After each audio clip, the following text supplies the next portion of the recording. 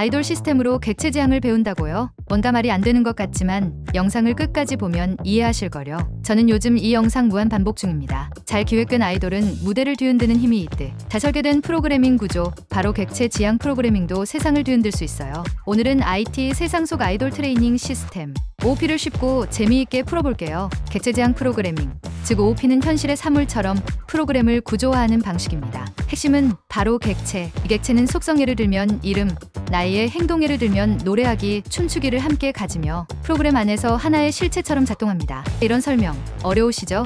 저도 처음엔 헷갈렸어요. 그래서 OOP를 아이돌 소속사 시스템에 비유해 볼게요. 클래스는 아이돌을 육성하는 설계도이자 최적의 트레이닝 시스템이에요. 이 시스템에서 탄생한 그룹, 그 이름은 바로 아이돌 그룹 Object. 1호브 메인 보컬, 2호브 메인 댄서, 3호브 비주얼 담당. 세 멤버는 클래스를 통해 훈련된 객체랍니다. 소속사는 오디션을 볼 때 지원자들이 어떤 춤을 추는지보다 무대 장악력이라는 핵심 능력만 평가하죠. 이처럼 복잡한 내부는 감추고 필요한 인터페이스만 보여주는 것. 그게 바로 추상화입니다. 여기서 잠깐 여러분이라면 어떤 인터페이스를 남기고 어떤 정보는 감추고 싶나요? 댓글로 상상해 보세요. 드디어 데뷔 날 perform이라는 무대 명령이 내려졌을 때 메인 보컬은 노래하고 메인 댄서는 춤을 추고 비주얼은 엔딩 요정 포즈를 취하게 됩니다. 같은 명령에 다른 방식으로 반응하는 것.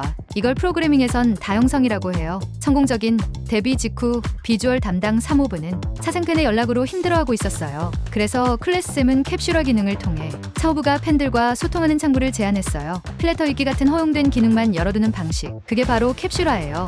여름 시즌이 오자 1호부와 2호부는 새로운 유닛 그룹을 결성했어요. 유닛명은 창소, 기존 멤버들의 능력을 유지하면서 새로운 스킬을 더해 활동하는 유닛. 이게 바로 클래스 상속이에요. 잘 설계된 클래스, 개성 있는 객체들이 만나면 세계를 뒤흔드는 K-팝도 세상을 움직이는 소프트웨어도 만들 수 있어요. 요약해 볼까요? 클래스는 아이돌 설계도, 객체는 멤버, 추상은 핵심 능력만 보여주기, 다형성은 같은 perform, 객체마다 다르게 실행, 캡슐화는 개인정보 보호, 상속은 유닛 활동입니다. 여러분은 어떤 개성을 가진 아이돌 객체를 만들고 싶나요? 객체 지향 프로그래밍.